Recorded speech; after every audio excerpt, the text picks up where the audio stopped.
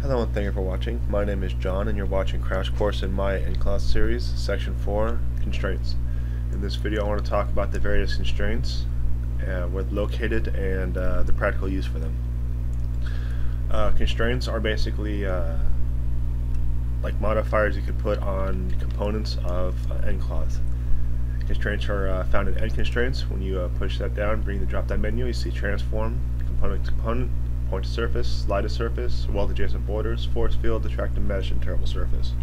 Tearable surface will be discussed in the next video. Uh, in this video we're going to talk about transforms, component to component, point to surface, weld adjacent, force field, and attractive mesh. so let's get started. In this example I'm going to be doing transforms. Um, this is basically going to be hanging cloth from a two point on a wall. So here's the wall, here's the two points.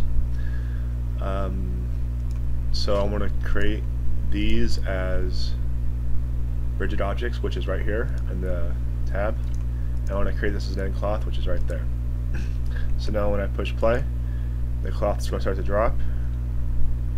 But you can see the cloth is start, uh, trying to get away from the rigid object.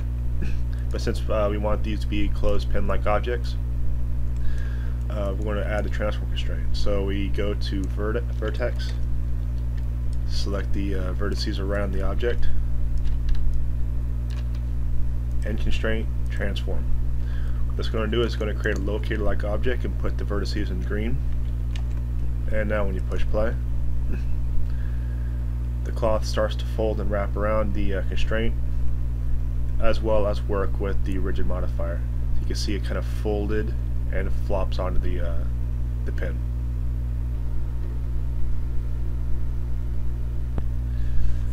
The next constraint is called component to component. This basically allows you to weld uh, any type of component of uh, nCloth to uh, any type of component of an nRigid. In this case, we're going to have this as an nRigid, and this is the nCloth. We're going to create a trampoline-like object. so we're going to just click on vertex, shift select the object, select that vertex, constraint, component to component. I'm going to do this for all four sides.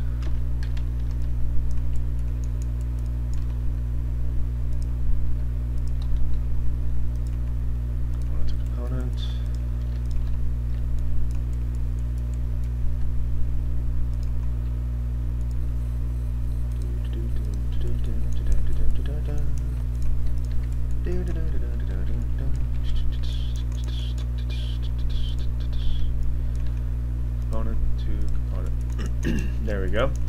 And now when I push play, you can see that it starts to try to uh, stick to the the edge of the trampoline while given a four-point folding motion.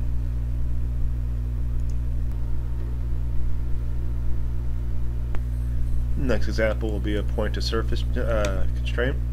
Uh, practical use would be a cape on someone's back. In this case, we're going to have this plane as a cape, and this cube is the back. So we're just going to convert the cape to an nCloth and the back to an nRigid. Then we're going to go vertex. Select the vertexes, uh, vertices that you want. Shift select the uh, back and constraint, point to surface. It's going to create your dynamic, turn your vertices green, and when you push play, it flops there. Now the difference between this one and the, uh, and the previous one is it actually sticks to the surface. In addition, you can actually move the object as you can see and it sticks. Very useful if you want to have this as the back like I said and that as the cape.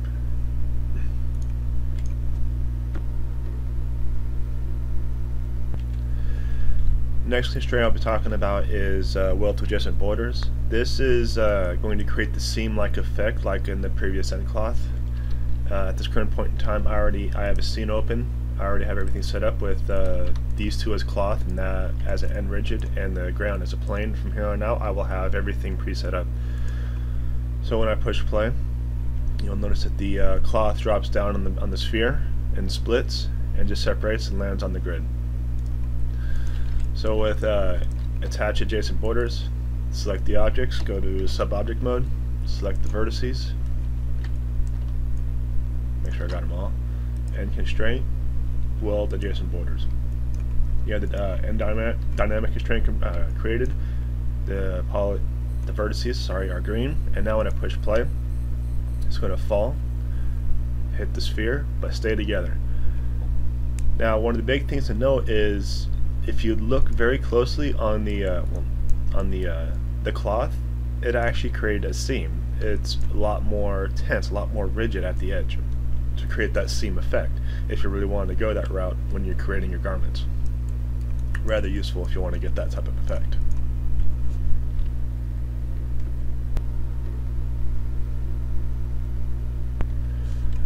Now the next one is kind of more like a, a troubleshooting, like if your cloth gets stuck together.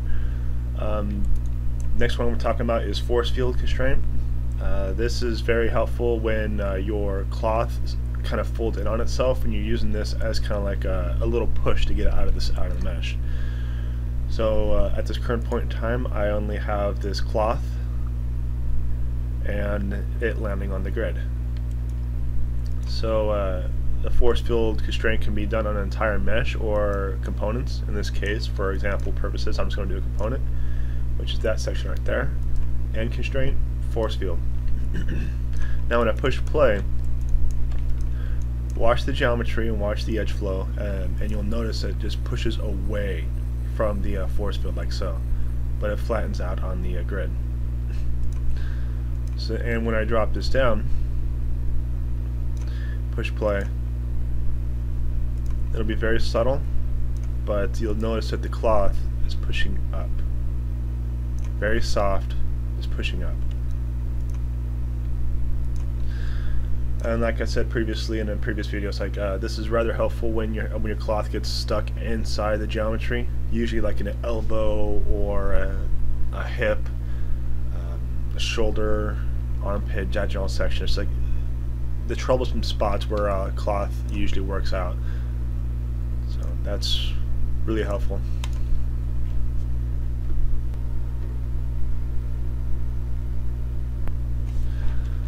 The last example I'll be showing in this video is called attract to matching mesh constraint.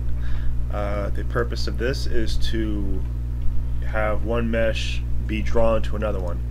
In this scene you'll notice I have two planes one kind of modified, the other one not. Um, the poly, sorry, uh, the plans themselves are actually identical. As a matter of fact, the one on the top is just a duplicate from the bottom and modified. They need to be um, have the same, uh, or as best as possible, the same amount of vertices. It's kind of like a blend shape. If it has the uh, incorrect amount of vertices, it might not work. I actually haven't tried. I haven't really thought about it. Practical use for this would be to uh, animate this, like the top mesh, kind of like a, a cloth for your clothes, and then have this attract to uh, th this be your uh, cloth attracted to this to uh, kind of follow it. So uh, when I push play, you'll notice that the cloth itself just kind of falls down, hits the grid, and that's it. But if I select the cloth, select the mesh, attract to matching mesh, you'll notice it kind of looks like it's bleeding or crying or something. And now when I push play, it just shoots up to that cloth. This is, uh, as you can see I start moving it, very similar to some of the previous ones that you saw. So you'll notice that when I uh, start moving the, the turquoise-ish uh, geometry, the blue one tries to fall as best as possible that's basically it for this video. I talked about all the transforms in the constraint section except a couple of them. Next video I want to talk about tearable objects such as uh, ripping cloth, shooting a cannonball, zipper, etc. Uh, etc. Et so thank you very much for watching and have fun.